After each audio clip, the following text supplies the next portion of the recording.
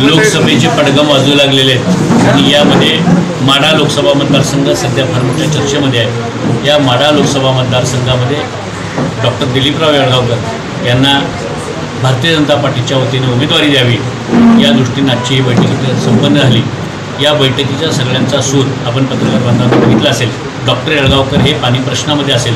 किंवा सर्व समाजातल्या तळागाळातल्या घटकातल्या कार्यकर्त्याला बरोबर घेऊन काम करणारे कार्यकर्ते. आणि यामुळं या भागाच्या वतीने लोकांची एक मागणी आहे की डॉक्टर दिलीप राव येळगावकर यांना लोकसभेची उमेदवारी मिळाली पाहिजे. भारतीय जनता पार्टीचं या भागामध्ये एवढ्या मोठ्या प्रमाणात काम झालेलं आहे. आणि माडा लोकसभा मतदारसंघ मागच्या वेळी आपण जर बघितलं असेल तर पंचवीस हजार मतांनी फक्त सदाभाऊ खोत हे हरलेले होते.